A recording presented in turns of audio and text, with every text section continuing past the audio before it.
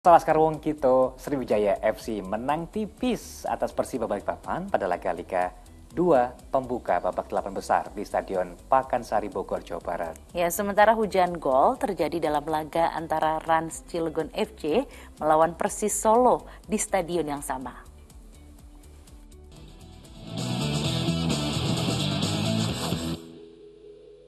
Dipersembahkan oleh New Lucky, New Star, Liga 2021 is back to job.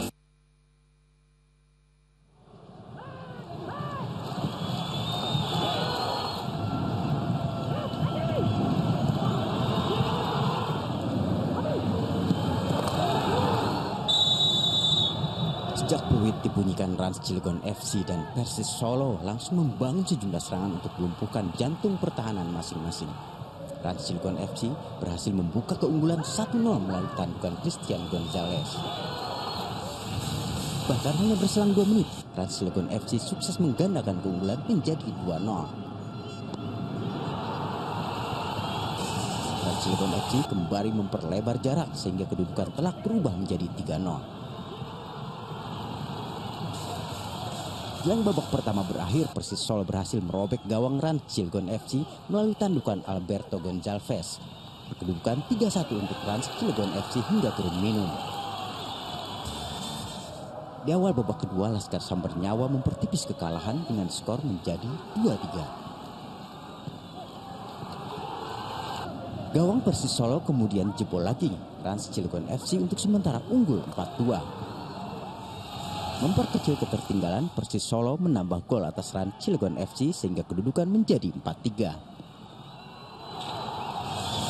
Jelang laga berakhir terjadi kemelut di lini belakang Rans Cilegon FC dan sempat terjadi gol, namun wasit menganuirnya lantaran offside. Rans Cilegon FC akhirnya menang tipis 4-3 atas Persis Solo. Pada babak pertama, Persiba Balikpapan unggul lebih awal. Sriwijaya FC mampu menyamakan kedudukan sebelum babak pertama berakhir.